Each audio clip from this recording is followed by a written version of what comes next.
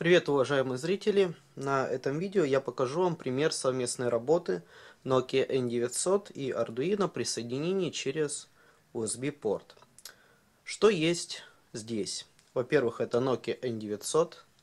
Во-вторых, Arduino. Ну и в-третьих, несложная собранная схемка. Давайте мы с вами для начала подключим Nokia N900 к Arduino через USB. Так, Думаю, процесс соединения с USB-устройством вам всем более-менее знаком. Подключаем. Включаем питание через USB. Ну и делаем поиск устройства. Так, вот загорелась лампочка на Arduino, я думаю, вы это заметили.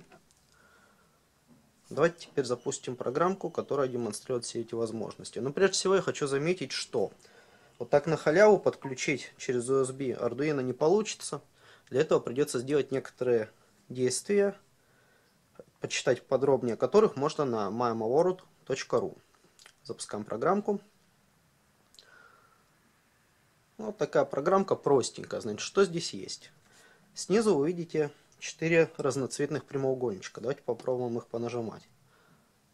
Красный прямоугольничек у нас загорается красный светодиод. На Arduino зеленый синий светодиод и белый светодиод.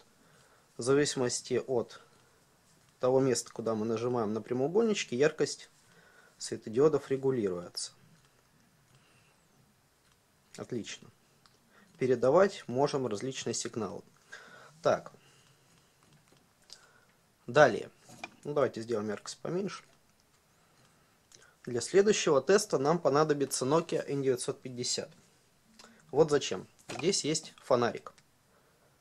Светит фонарик. Давайте нажмем вот на этот прямоугольничек. Тем самым я активирую датчик освещенности, собранный из фоторезистора и обычного резистора. Видите этот прямоугольничек? Так, свечу он становится ярче, не свечу он становится темнее. Ярче, темнее, ярче, темнее, ярче, темнее. Это простой датчик освещенности. Ну и давайте закончим, наверное, демонстрацию недолгую поуправлять серводвигателем. Для того, чтобы лишний раз не разряжать Nokia N900, давайте все-таки подключим дополнительное питание к Arduino. Так, раз. Ну, давайте включим светодиодики. Поярче стало.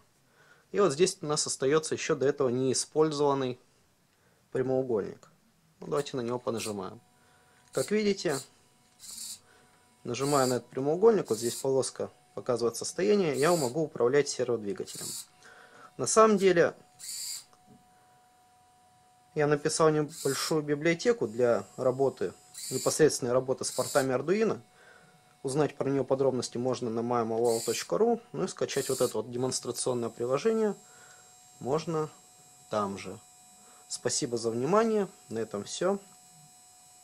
Пока.